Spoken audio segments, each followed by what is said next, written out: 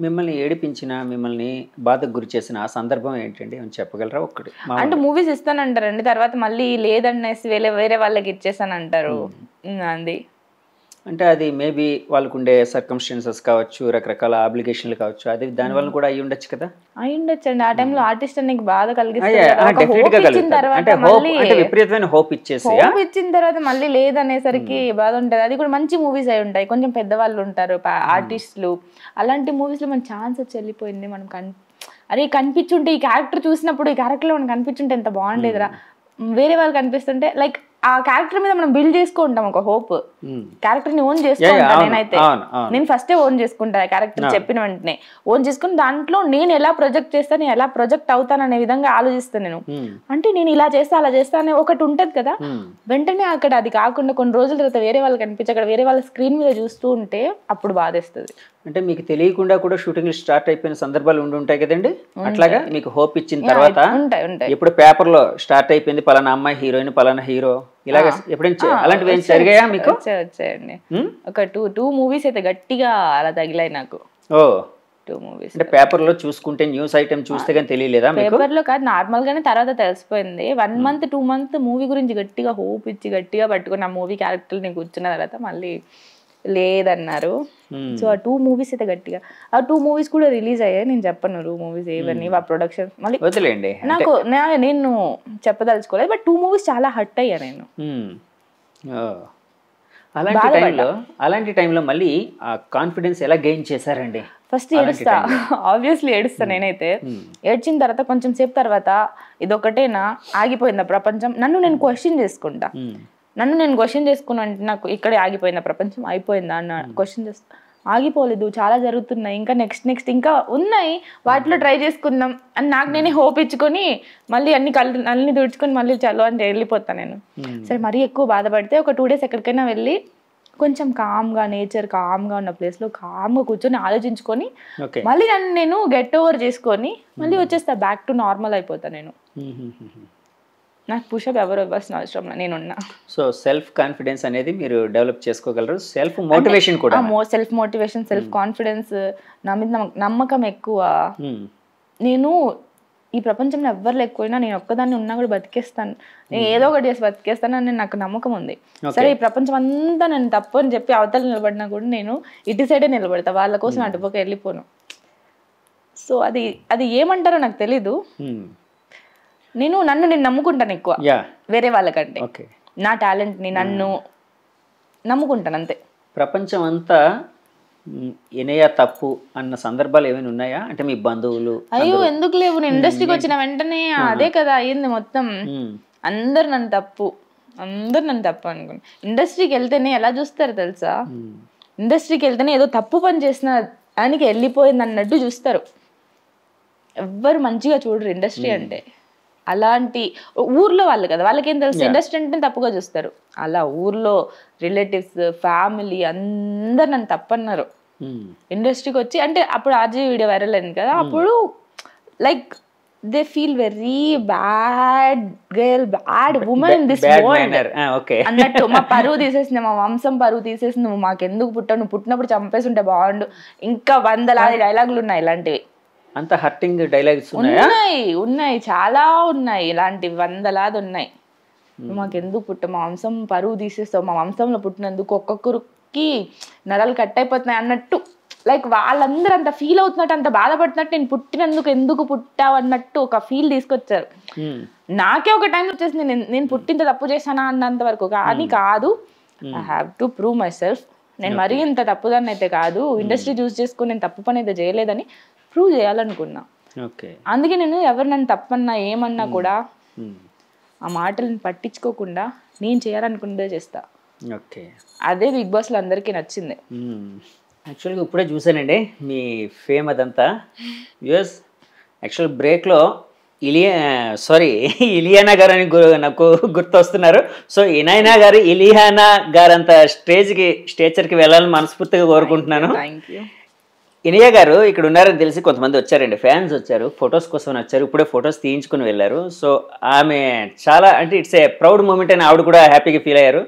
వాళ్ళు రావడమే కాకుండా అందులో ఒక చిన్నపిల్లడు వచ్చి బిగ్ బాస్లో ఒక ఫైట్ కోసం కూడా మాట్లాడాడు. అంటే అంతగా కనెక్టివిటీ అనేది ఉంది.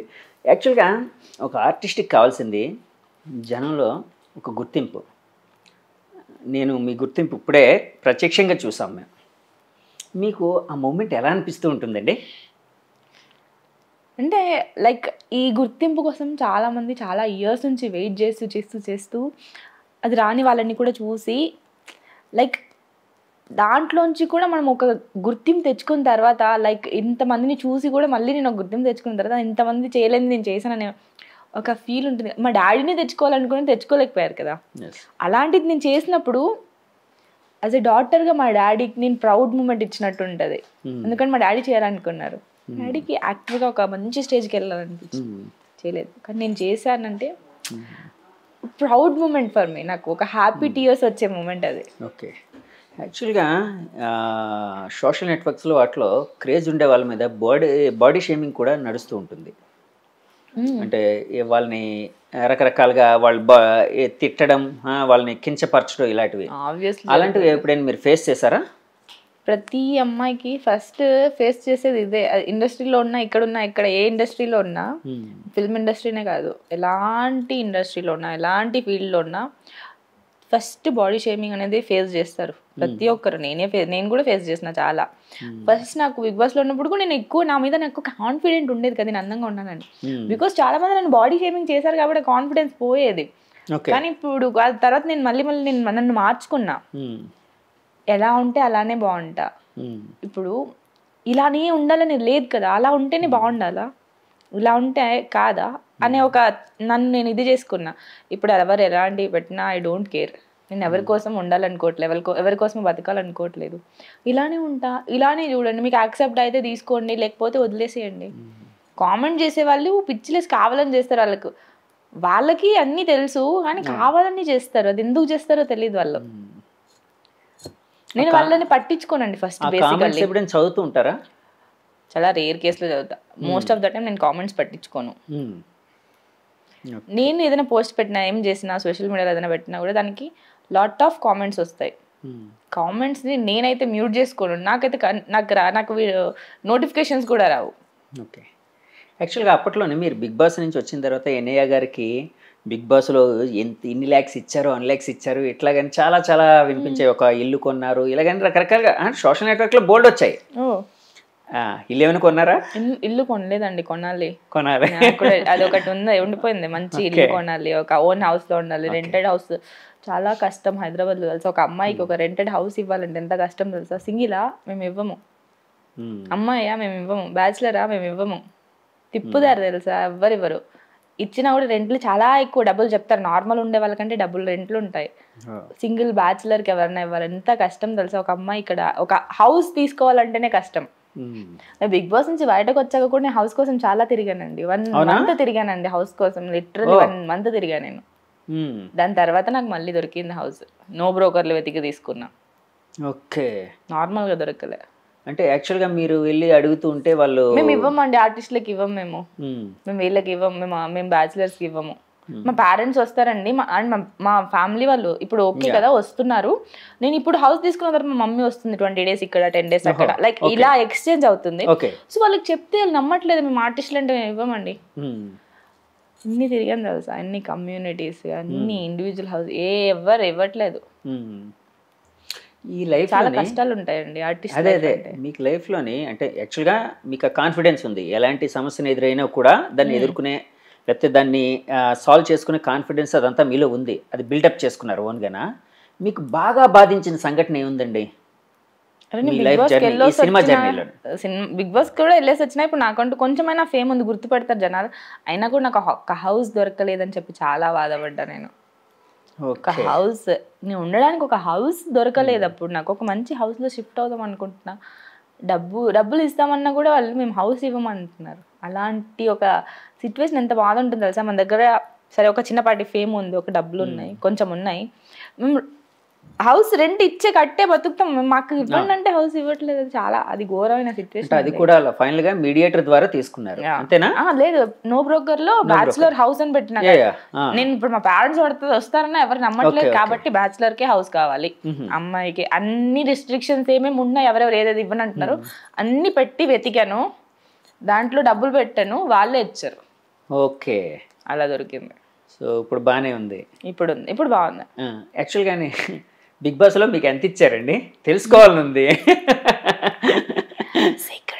సీక్రెటా అంటే వన్ పక్కన ఎన్ని సున్నాలు పెట్టుకోవాలి చెప్పండి? వన్ పక్కన టూ పక్కన త్రీ పక్కన ఫోర్ పక్కన ఒక- చెప్పండి. ఒక నిమిషం చెప్తాండి వాళ్ళు బిగ్ బాస్ వెళ్ళక ముందు మాట్లాడతారు కదా రెమ్యూనరేషన్. వెళ్ళక ముందు నాకు లిటరల్లీ చెప్పాలంటే నేను పెద్ద స్టార్ని కాదు. నాకు ఎక్కువ ఫేమ్ లేదు. నేను పెద్ద పెద్దవి ఏం చేసలేదు అప్పటికి. నేను మంచి గుర్తింపు ఏం పెట్టుకొని వెళ్ళలేదు. అలాంటప్పుడు వాళ్ళు నన్ను తీసుకోవడమే చాలా రేర్ కేసులో తీసుకుంటారు. నన్ను లాస్ట్ ఫిఫ్టీన్ డేస్లో సెలెక్ట్ చేశారని చెప్తాను ఓకే అలాంటి సిచ్యువేషన్ వాళ్ళు నాకు ఎంత ఇస్తారండి? లక్షలు లక్షలు కోట్లు కోట్లు ఇచ్చేస్తారా? అందరికంటే తక్కువ ఎవరికైనా ఉంటుంది అన్నప్పుడు సిచ్యువేషన్ అలాంటి దాంట్లో నేను ఒక దాన్ని ఉంటా అక్కడ. హైయెస్ట్ రేంజ్లో నేనైతే లేనండి. అలాగే సైన్ అలానే సైన్ చేసాను అలా సైన్ చేసిన అదే తర్వాత నాకు ఎంత వచ్చింది నేను ఎంత సంపాదించుకున్నా బిగ్ బాస్కి వెళ్ళాక పేరు అనేది అది నా బిహేవియర్ అంటే నా క్యారెక్టర్ అది. అక్కడ నేను ప్రొజెక్ట్ చేసుకుంది నాకు వచ్చింది నా కష్టం. కానీ వాళ్ళు ఇచ్చింది ఇచ్చేది మాత్రం ఫస్ట్ ఫిక్స్ చేసిందే కదా.